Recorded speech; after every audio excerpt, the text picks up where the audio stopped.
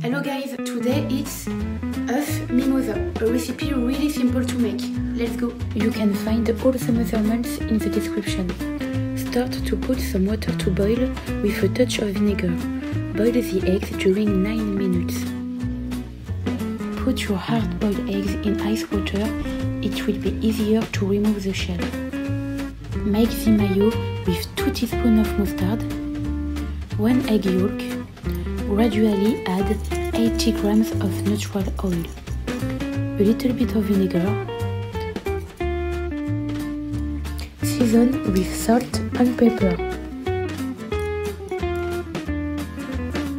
Now you can remove the shell of your eggs. Cut eggs in half and separate the yolks without damaging the white. Mash the yolks, chopped fresh parsley and chives and add to the mixture. Add the mayo.